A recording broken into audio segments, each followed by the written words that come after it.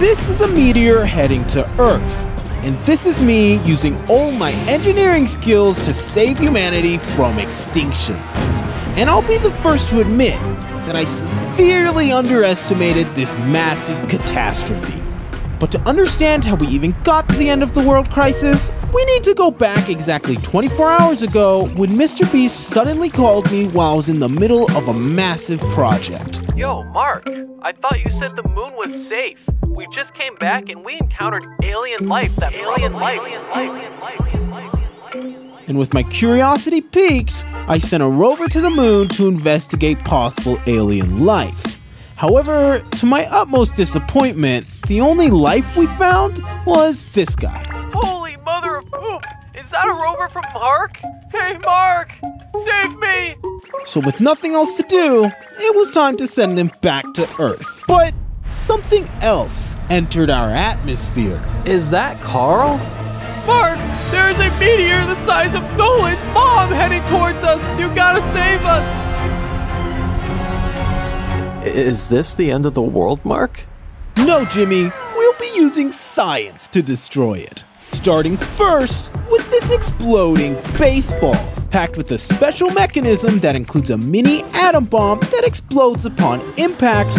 I then use all my force to throw it towards the meteor. The only problem is, I'm not the best pitcher. kind of a throw is that, Mark? And with Jimmy screaming in panic, it was time to bring out the Orbeez Gatling gun. With my vast experience of modified firearms, I combined the destructive power of this weapon with 1 trillion Orbeez, and without wasting any more time, I fired it away towards the meteor that, for some reason, looked like a butt. Nothing is really happening, Mark.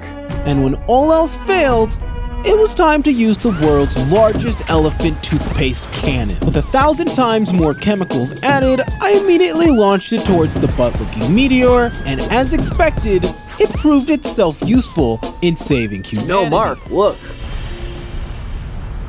Now I truly have nothing left. No, that's not true.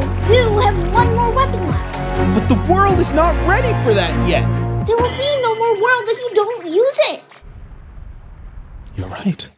And with that, it was time to bring out the Glitter Bomb 6.9. This special version of the Glitter Bomb has enough uranium and farts. we don't, have, time, for an explanation. With no time left, I sent the Glitter Bomb towards the meteor as a last resort to save the Earth. Is it over, Mark? Yes, Jimmy! We did it! And I'm finally back. Ca- Karl? J- J- Jimmy? Are you really back? Yes, Jimmy. Karl! Jimmy! Thank you guys for watching and if you want to know how Mr. Beast and Karl ended up in space, check this video right here. And for those of you who are interested in learning how I make these animations, I made a 5-part video series detailing my process and tools which you can find in projectcity.tv. It's a very neat platform where you can learn storyboarding and animation from industry professionals. Using my code RJ Animations, you can get 3 months free for an annual subscription. Check it out and I'll see you in the next one.